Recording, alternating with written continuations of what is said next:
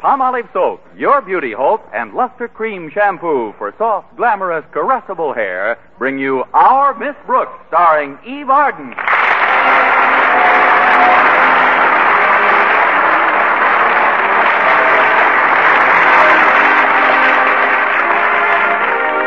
Our Miss Brooks, who teaches English at Madison High School, is as conscientious about her work as any other teacher. But she's come to realize lately that there are things outside of the classroom which also demand her attention. There are two things which I feel I must do to keep abreast of the times. First, I read all the latest figures on the cost of living.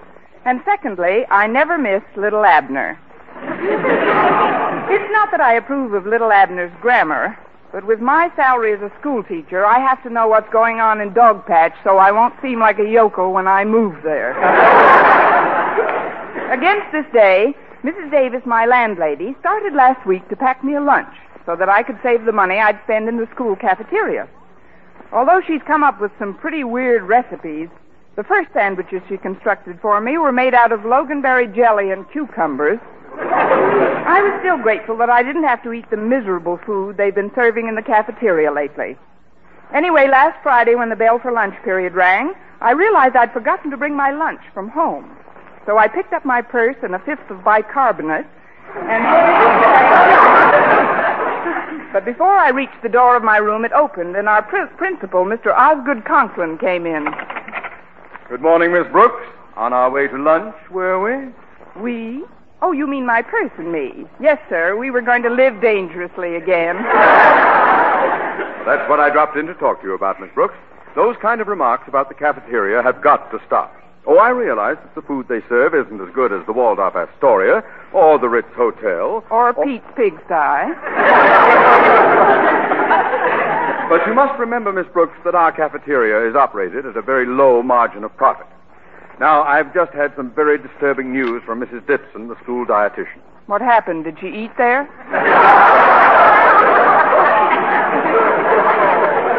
This is no laughing matter. Sales have fallen way off. And although the Board of Education doesn't hold me directly responsible for the operation, the cafeteria is part of Madison, and I am Madison's ruler, a principal.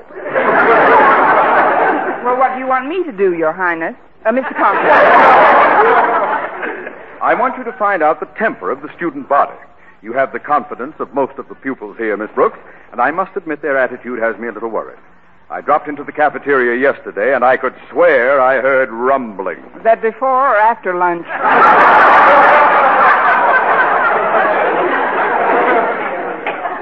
Very amusing, albeit extremely ill timed. now then, Miss Brooks, I'm counting on your cooperation. Will you carry the ball for me? Yes, Mr. Conklin, I'll carry the ball, provided I can have someone to run interference. You know, help me out.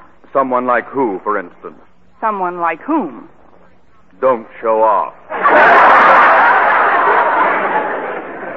who do you want to help you?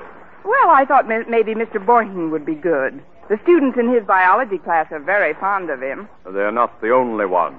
Why, Mr. Conklin, you've been muscling into my subconscious. that is, I usually have lunch with Mr. Boynton, and, well, together we. Very well. Draft him. aye, aye, sir. But impress upon him the necessity for discretion. It May all be just a tempest in a teapot. And remember, I want as little publicity in this affair as possible. Yes, Mr. Conklin, I understand. Good. As you were. Let's see now. How was I?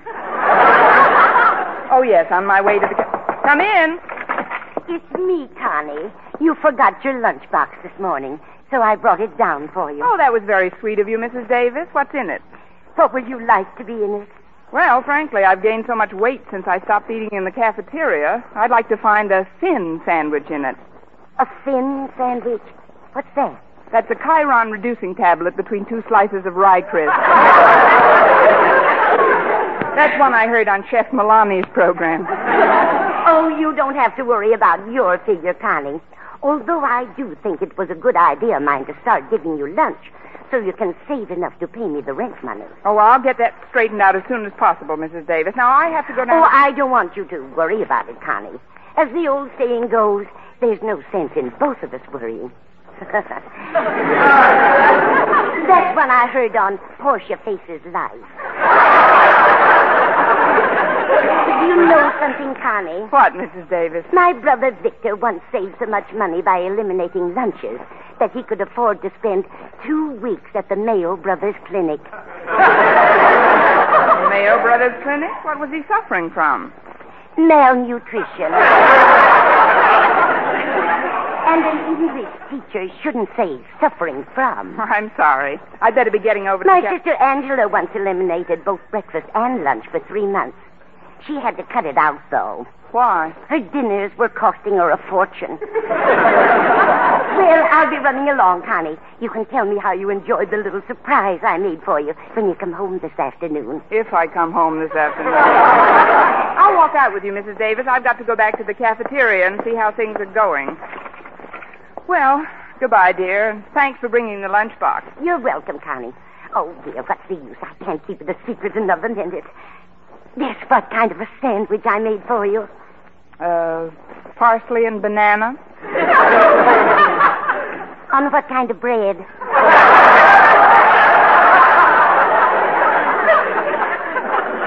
Gluten. I hope you enjoy it.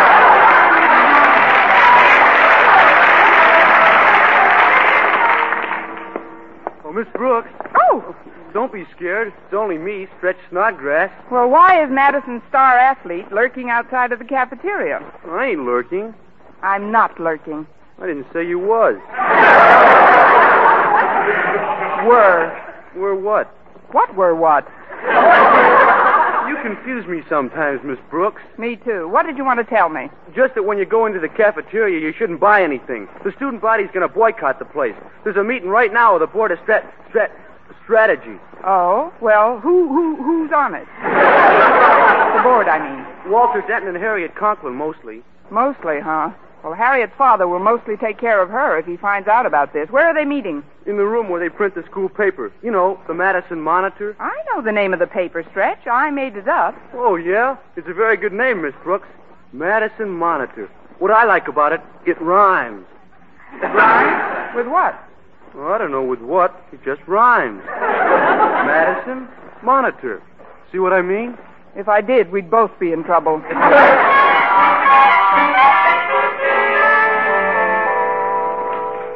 Pardon me, but is this the Office of Strategic Services? Oh, come in, Miss Uh, Brooks. close the door, Harriet. You see, Miss Brooks, this is a secret meeting about the food in the cafeteria. We don't want the faculty to get wind of it. Well, how can they help it? On a clear day, you can smell it in Catalina. Miss Brooks, this is Mr. Dunbar. He used to teach here at Madison. How do you do, Miss Brooks? Hello, Mr. Dunbar. I just stopped by to see Mr. Conklin, but he wasn't in his office, so I dropped over to one of my favorite old haunts when I taught here, the newspaper room. Oh, did you used to haunt the newspaper room? I mean, were you uh, connected with the school paper? Oh, yes, indeed. I was faculty advisor. That's what Miss Brooks is now. Oh? Well, I don't want to disturb you. Go right ahead with your meeting. I'll just look through some of these old copies of the Monitor. Okay, Mr. Dunbar. Now then, Miss Brooks, did anyone see you come in here? Why, no, Walter. Are you positive? No, I'm not positive. If I'd known this was a secret meeting, I'd have tunneled my way in. well, I guess we've got to take a chance. You see, Miss Brooks, we're going to circulate a petition among the students asking them to boycott the cafeteria. Boycott it? But, Harriet, what'll your father say? I've talked to Daddy, Miss Brooks, and he says there's nothing he can do. Oh, I deplore the embarrassment this may cause him, but as student body president, my first duty is to my constituents. Here, here. I did, I did. We've just finished the preamble to the resolutions and the petition. If you want to hear it, I'll read it to you. Whereas, and to wit, That's pretty strong language, isn't it? A little on the pink side. when in the course of students' events it becomes necessary to turn one's back on one's stomach, we, the undersigned, exercising our constitutional right peaceably to assemble and to form a committee to seek redress of grievances, do hereby announce our firm intention of patronizing the Madison High School cafeteria only to use the tables, chairs, water, napkins, and toothpicks provided therein, until such time as the duly appointed party or parties, namely Mr. Osgood Conklin, principal, or the Board of Education, responsible for the operational bog down which has befallen this installation, do take such action which will improve the food, lower the prices, and better the service in said cafeteria. It is also recommended that the person or persons in whom this authority is vested do immediately proceed to the present chef in charge of preparing the food, and without further frippery or fanfare, chuck him the heck off the premises. well, Miss Brooks, what do you think of it, huh? How much are you asking for the picture rights? Isn't it great, Miss Brooks? And look over here. We just painted these placards. That's in case the students vote to pick it. Pick it? Oh, now, wait a minute. This is Look getting... at this sign here, Miss Brooks. Let's see. Remember Ptomaine. Here's another one. Don't worry about your old age. Eat here and you'll never make it. Here's one Chris made up. It goes, remember the saying, whatever goes up must come down? Well, in our cafeteria, whatever.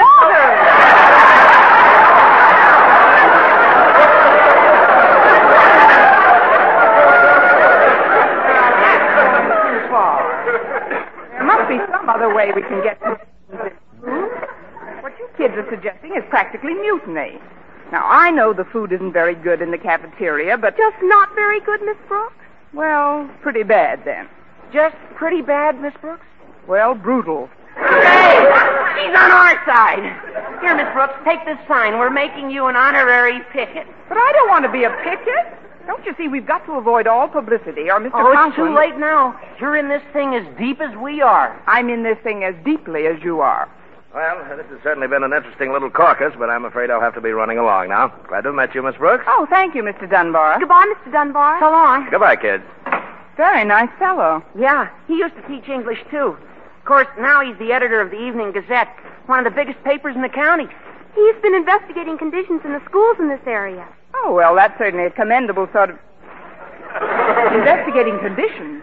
But he just heard me say the food here was brutal. So? So I want you to be sure and watch for my picture in the Gazette. Do you think it'll be on the front page? No, in Little Abner, there's going to be a new school marm in dog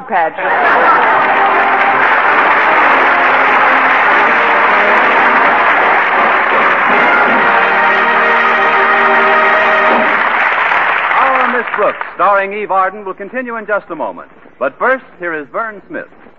Ladies, what's your complexion problem? My skin's so dingy. Mine's oily. My skin's dull, coarse looking. Doctors have proved that many complexion problems respond wonderfully to proper cleansing with Palmolive soap, regardless of age, skin type, or previous beauty care.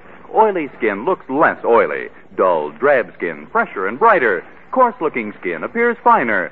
To win such complexion improvements, simply use Palmolive soap. Nothing but Palmolive is needed, the way doctors advise. Wash your face with Palmolive soap three times a day.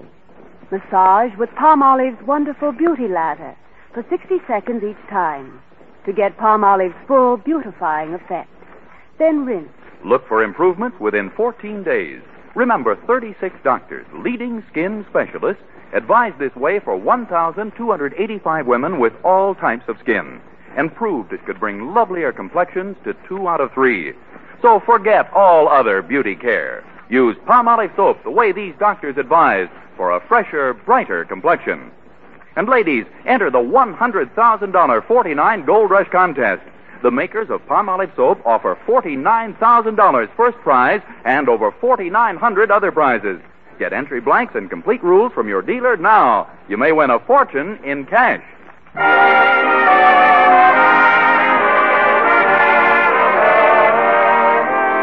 Well, I finally prevailed upon Walter and Harriet to postpone the cafeteria boycott until I could talk it over with Mr. Boynton and report back to Mr. Conklin.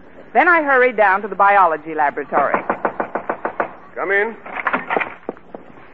Excuse me, Mr. Boynton, but I've got to talk to you about something. Could you come to the cafeteria with me right away? Oh, but I haven't been eating lunch in the cafeteria, Miss Brooks. I bring my lunch. Oh, I do too. See, I've got my lunchbox with me.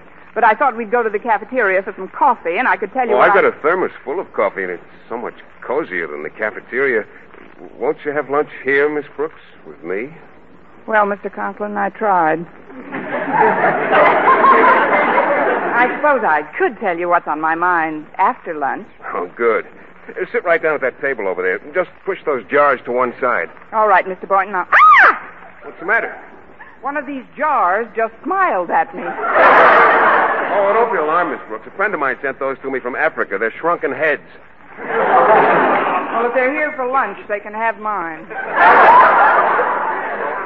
I'll just be a minute, Miss Brooks. I'm feeding my pet frog, McDougal. You remember Miss Brooks, Mac? Hi, Mac. I always feed Mac before I eat myself. Just like the cowboy stars do in those Western movies. They always feed their horses first. Well, good for you, partner. Of course, I, I've never owned a horse, but old Mac here is as close to me as any pet I've ever had. Yes, I know. Why don't we throw a saddle on him and go for a ride after school? Look, Mr. Boynton, maybe I shouldn't wait any longer to tell you what I discussed with Mr. Conklin. Please, Miss Brooks, not while Mac's eating. This is a festive occasion. Let's not talk about anything serious. I, I heard a brand new joke the other day. Would you like to hear it? I might as well. It, it's sort of a riddle. It goes, why can't a woman swallow her apron? I don't know, Mr. Boynton. Why can't a woman swallow her apron? Because it goes against their stomach.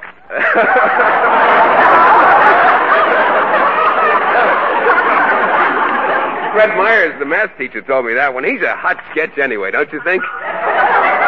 Yeah, he's funnier than trigonometry. That new French teacher, Mr. LeBlanc, has a good sense of humor, too. As a matter of fact, he's supposed to have lunch with me today. He said he'd prepare something typically French at home and bring it into the lab. What do you think he'll prepare, Mr. Boynton? Frog's legs? Yo, calm down, Max. Yeah, yeah, she didn't mean it. Uh, nobody's going to touch you while I'm around. Well, he's pretty sensitive, Miss Brooks. I'm sorry, Mac. I lost my head. Let me in, please. Oh, there's LeBlanc now. I'm sorry I have to kick on your door, Mr. Boynton, but as you can see, my arms are full. Hello, Monsieur Leblanc. Oh, Mademoiselle Brooks. I'm doubly sorry my arms are full. Well, thank you, Monsieur Leblanc. And I'll meet you in the Casbah later. Just put that casserole on this table here by those jars. Oh, very well. Who are these? The Board of Education? yes, African branch. What's in the casserole, Monsieur? Oh, it's a, it's a famous French recipe, Miss Brooks. It's called de viande délicieuse, hachée et modelée avec délicatesse en sphères de forme gracieuse. Which means? Meatballs. I assure you they are better than the food served in our cafeteria. Oh, that reminds me. The kids have gotten up a petition to boycott the place. Good for them. Well, it may be good for them, but it won't be so good for me unless I can do something to stop it. You see, I promised Mr. Conklin. Please, Miss Brooks, let us not talk shop, eh? Well, Mr. Boynton, everything is ready but the sauce. This I must simmer for a few more minutes. May I use your Bunsen burner? Oh, of course. I'll turn it up for you. I'm not very hungry. Could I just bo- boil a small egg in a test tube? Mademoiselle Brooks, just hold this dish right here. So. Ah, now soon we will have the finest eating in the whole world.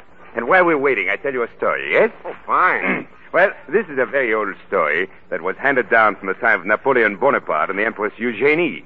Please stop me if you've heard it, Miss Brooks. I doubt it. Eugenie and I weren't very chummy. Yes. Well, uh, uh, once upon a time, there was an emissary from the court of England. But he was not an emissary, he was a spy.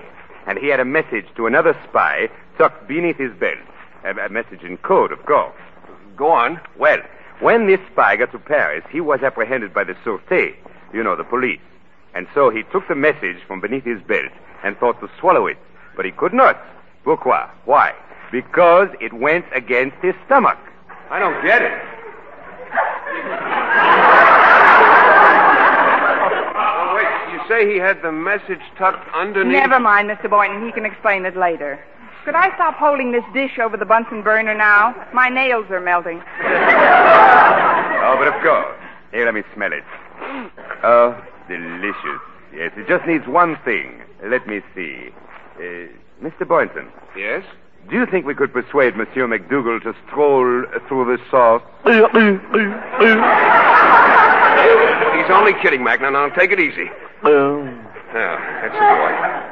Uh, There are some plates on that shelf over your head, Miss Brooks. W- Would you hand me a few of them, please? All right, Mr. Boynton, but I'm afraid I won't be able to join you right now. I'm too nervous about Mr. Conklin. If he caught us eating here instead of the Oh, cafeteria. will you please stop worrying about Mr. Conklin, Miss Brooks?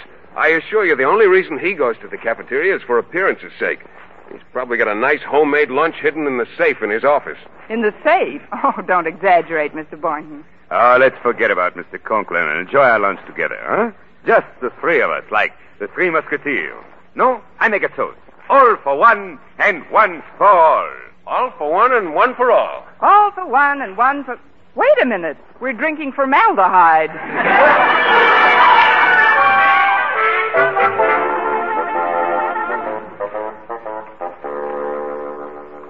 Three to the right. Four to the left. Now two more to the right. Ah, there we are. Now for a nice chicken sandwich.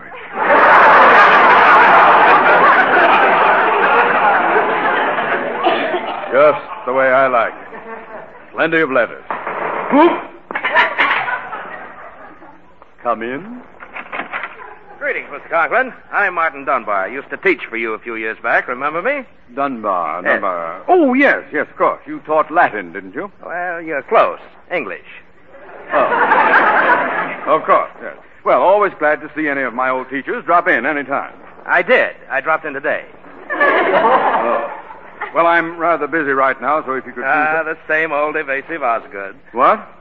Now, see here, young man. By what license do you call me by my first name? The same old pompous Osgood. Pompous? Why, you? Who do you? What do you? How dare you take? And What? the same blood pressure, too, huh? Look, Osgood, as editor of the Evening Gazette, it's my duty to expose certain things to public view. Not all things, mind you, but just those things that have a rather unpleasant odor. Well, now you leave our cafeteria out of this. I mean, uh, I didn't do you? mention your cafeteria, Osgood, but now that you did, I think you ought to know at least as much as I do. Namely, the students here are talking about a boycott. What students? Probably just a handful of irresponsible, scatterbrained, troublemaking old. Uh huh. One of the pupils who told me about it was named Harriet Conklin. Just the type I had in mind. Nothing but a scatter. Harriet Conklin? Yes, that's right, Osgood. Your own daughter. And it isn't just the students that are rebelling either. I heard one of your teachers refer to the food here as brutal. A teacher said that? Uh huh. Ah, that'll make a nice, juicy headline, too. Faculty member slings mud at cafeteria hash. Now, just a minute. Or Madison English teacher vilifies victuals. Did you say English teacher? I did. Miss Brooks is the name. She's in this thing as deep as any of them. As deeply, editor. I told her. To... Look, now there must be some way we can straighten this thing out. I'll tell you what, Dunbar, old boy. Yes, kiddo? Meet me in the cafeteria in five minutes. We'll uh, we'll have lunch together. I was on my way down there when you came in. Oh, all right. But uh, where are you going now? I'm going to find Miss Brooks and make her eat her words. Or worse, I'll make her eat in the cafeteria. I'll see you in a little while, Dunbar. Oh, Mr. Conklin, before you go, Yes? you'd better slam that safe again. Your lettuce is showing.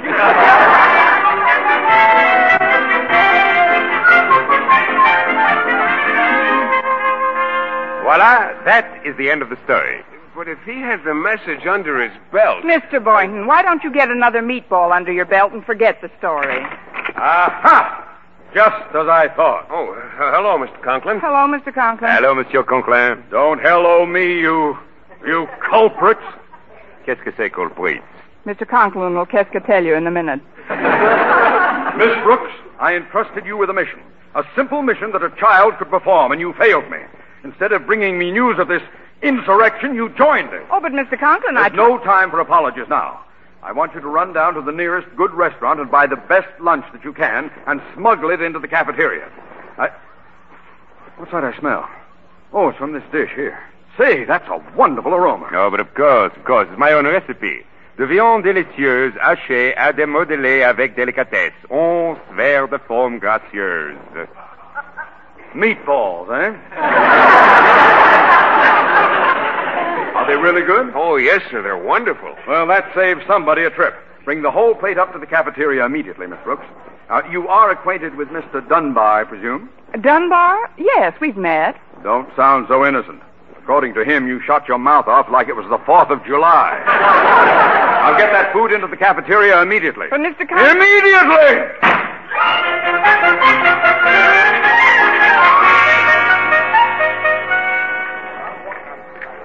Well, I must say that was the best food I've ever had in or out of a school cafeteria. Well, I wish you'd repeat that statement, Dunbar. I see my daughter Harriet and her idiot consort approaching. Oh, hello, kids. Hello, Mr. Dunbar. Hello, Mr. Conklin. Hmm. Why, Mr. Dunbar, you've cleaned your plate. Of course he has. The food was wonderful, wasn't it, Mr. Dunbar? it certainly was. Oh, that means we can call off the boycott. Well, what did you do, Daddy? Fire the chef? Better than that, my dear. Look, behind the steam table. An order of meatballs, please. One meatball coming up.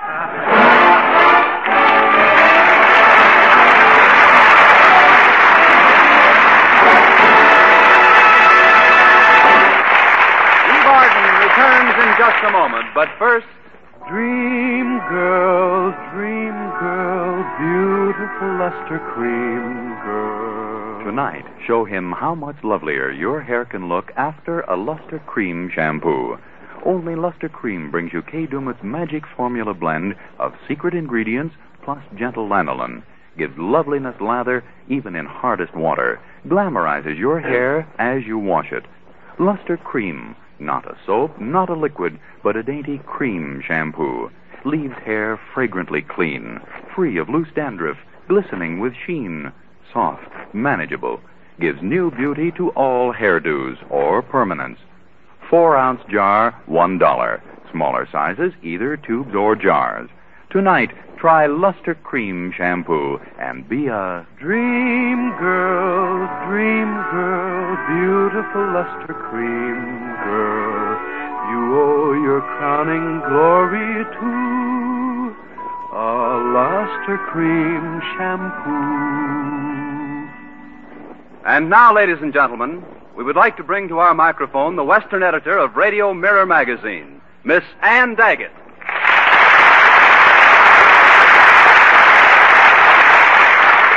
Thank you, Mr. Lamont. And as you know, the current issue of Radio Mirror magazine is now announcing the results of its annual awards based on a poll of radio listeners all over the country. It is my pleasant duty to present this scroll on behalf of those listeners who have elected as radio's top ranking comedian, Miss Eve Arden.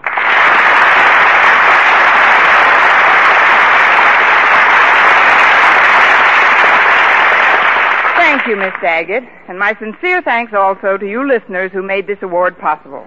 I'd like to say at this time that I'm certainly going to try in the coming months to merit the honor you've bestowed upon me, because I understand that if I win this scroll two years in a row, I get to keep Mr. Boynton. Thanks again, and good night. Next week, tune into another Brooks show brought to you by Palmolive Soap, your beauty hope, and Lustre Creme Shampoo for soft, glamorous, caressable hair. Our Miss Brooks, starring Eve Arden, is produced by Larry Berns, written and directed by Al Lewis, with music by Wilbur Hatch. Mr. Boynton is played by Jeff Chandler, Mr. Conklin by Gale Gordon. Others in tonight's cast were Jane Morgan, Dick Crenna, Gloria McMillan, Leonard Smith, Gerald Moore, and Bill Conrad.